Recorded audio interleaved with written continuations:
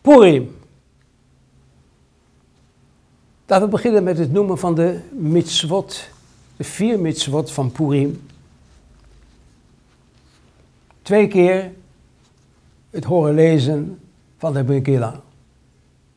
Van de Purim-geschiedenis, Achashverosh, Mordechai, Esther, Haman en wat er verder allemaal gebeurt.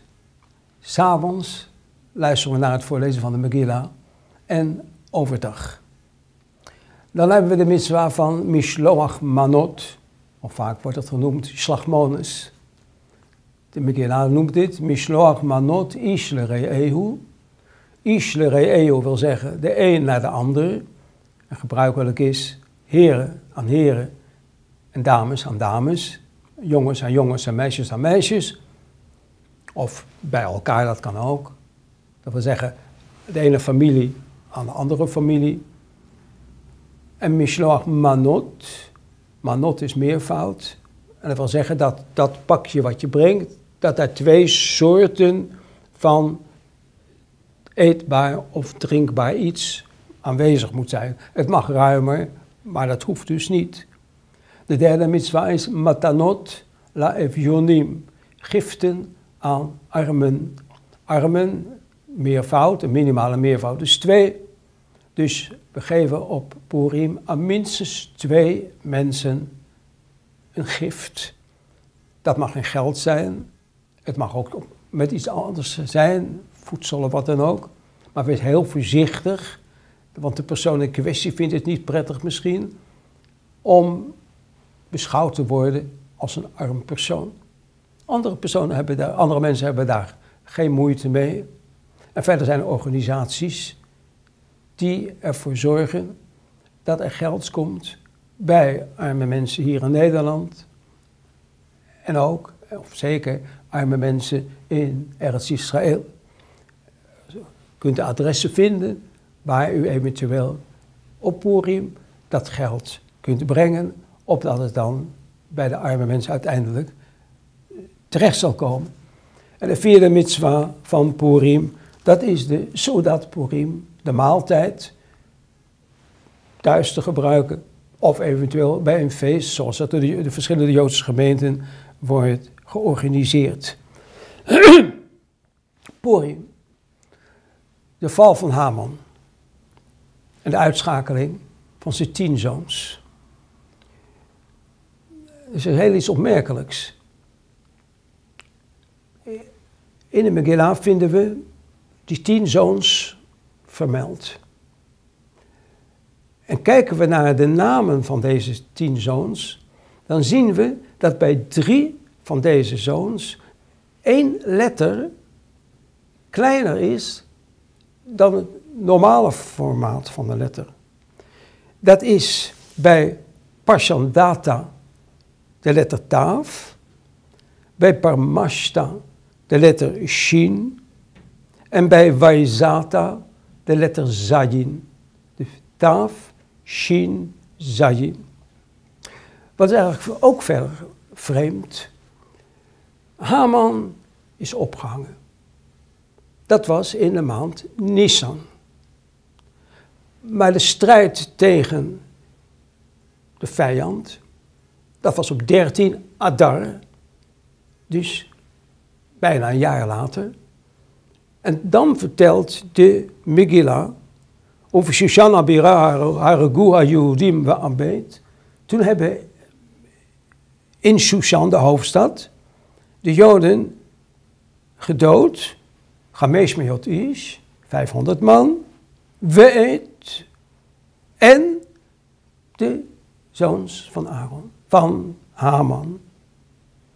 Ben Amadata, Tsogera Yodim, Haragu.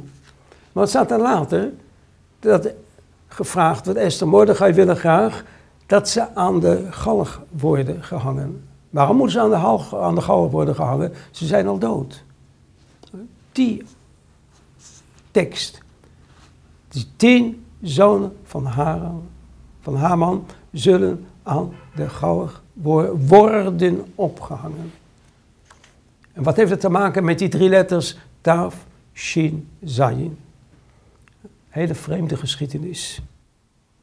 In de herfst van 1946 vond plaats de rechtszaak tegen elf en later tien kopstukken van de nazi's in Nuremberg.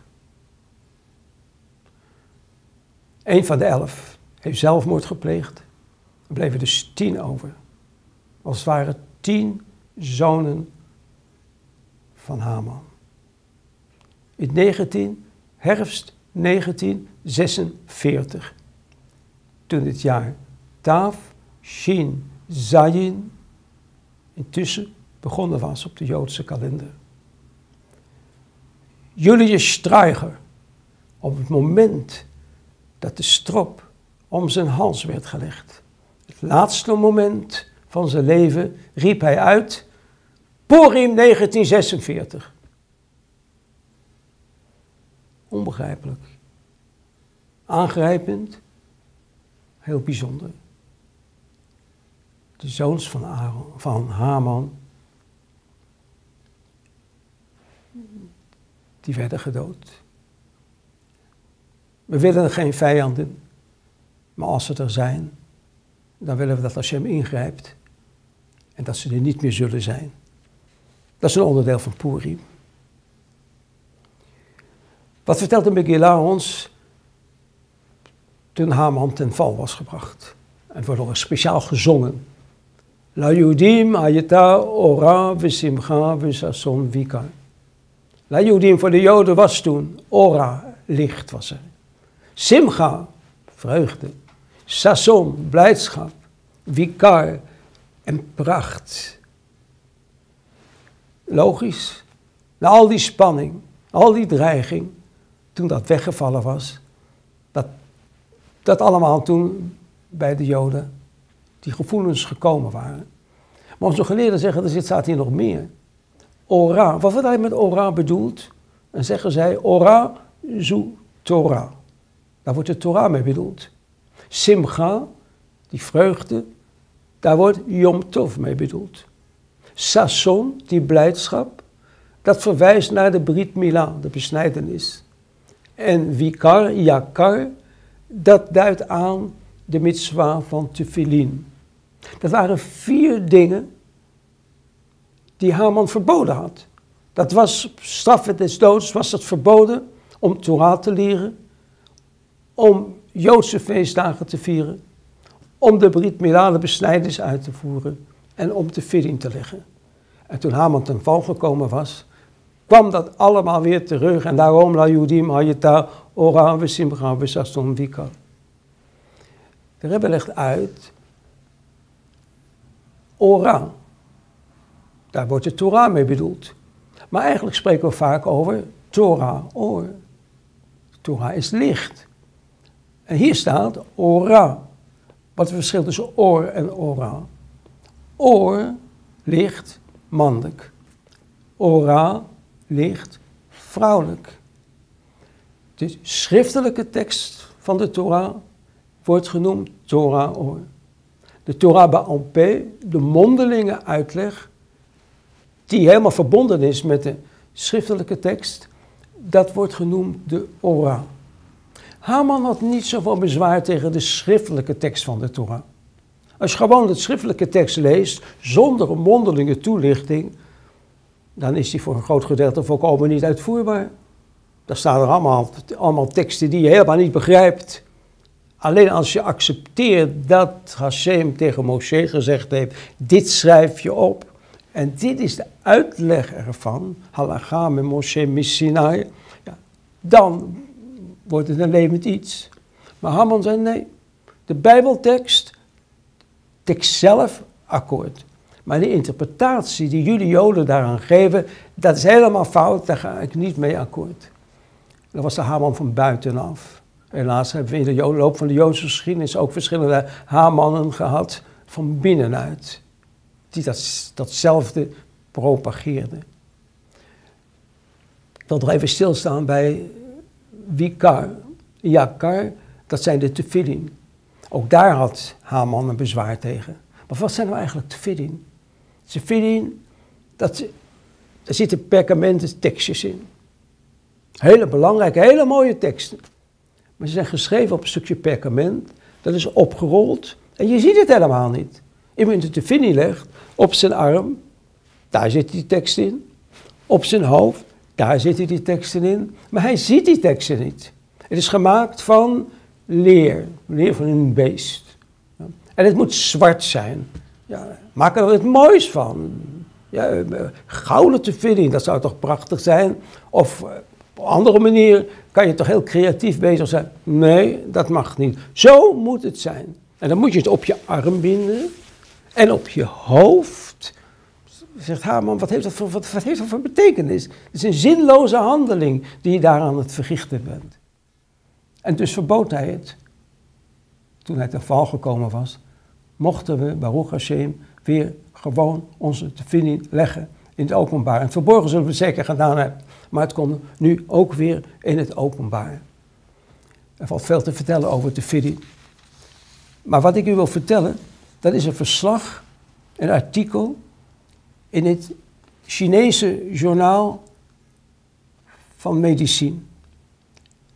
En daar, het hoofdartikel in volume 70 van dat journaal, spreekt over de mitzwa van tefillin.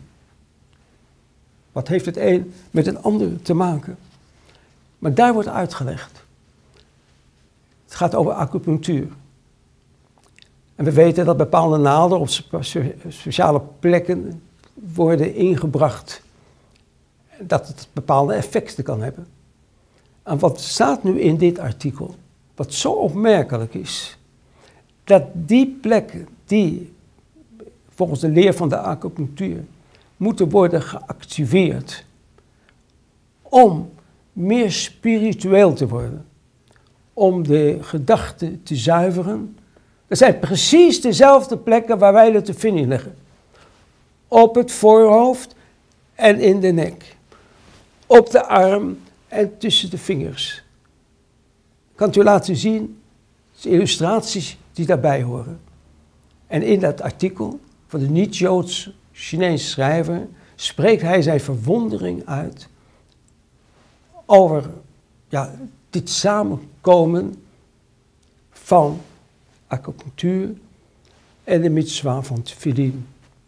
Ik zeg niet dat wij hiermee de mitzwa van tefillin hebben verklaard, maar het is toch mooi meegenomen om ook uit die hoek te begrijpen hoe bijzonder die mitzwa van tefillin wel is.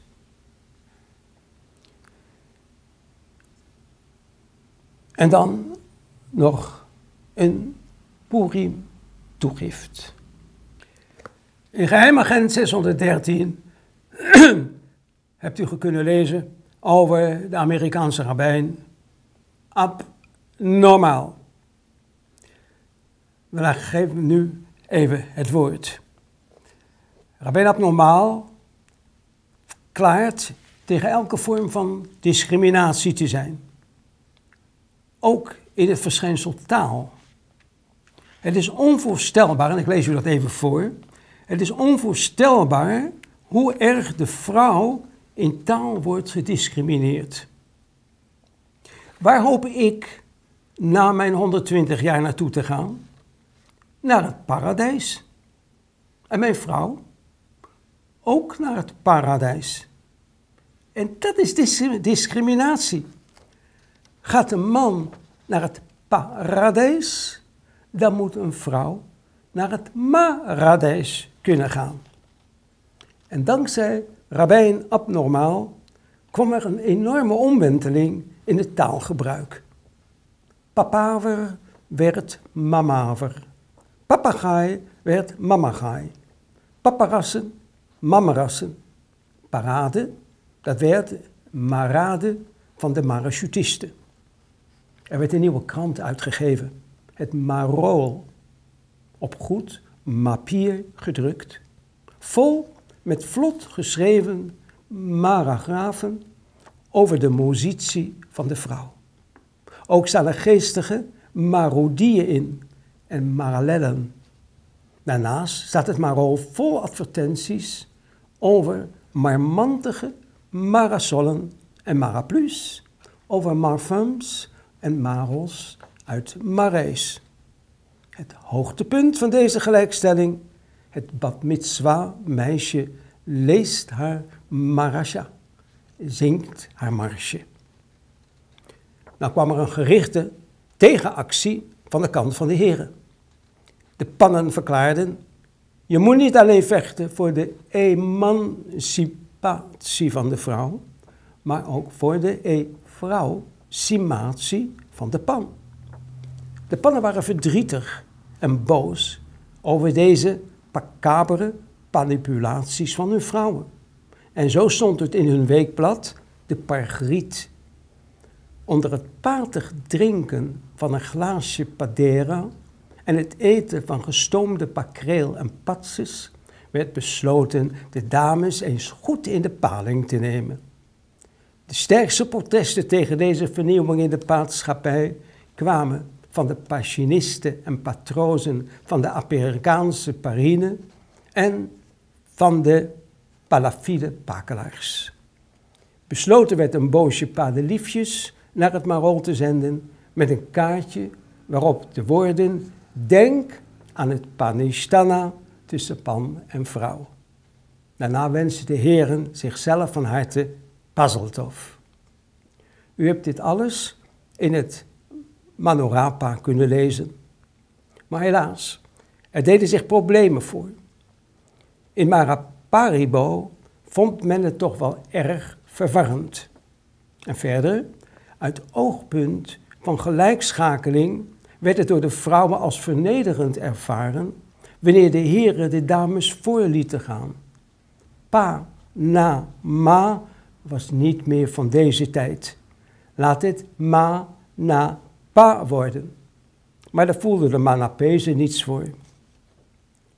Goed, dat is allemaal dus niet gelukt, maar toch wenst Rabijn Abnormaal u een omtipaal Moerimfeest toe. Hij vraagt u niet te vergeten het sturen van slagponis aan vriend en vriendin en het geven van patanot la efionip aan de arpen. Goed Purim.